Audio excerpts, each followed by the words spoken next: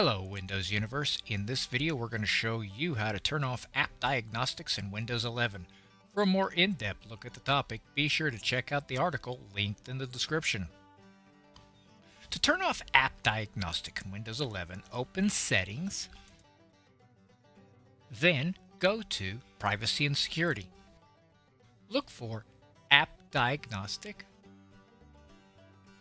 click on it, and use the toggle to disable app diagnostics. If you want to turn off the app diagnostic for a particular app, underneath you will see the apps that have access. You simply toggle off any of the apps that you do not want to give access to.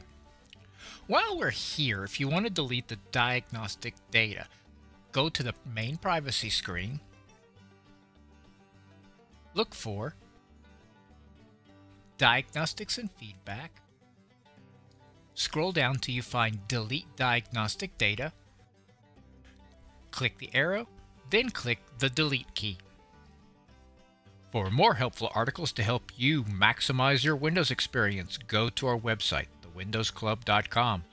Do not forget to give this video a thumbs up and subscribe to our channel where we are always adding new content aimed at making you the master of your digital house. Thanks for watching and have a great day.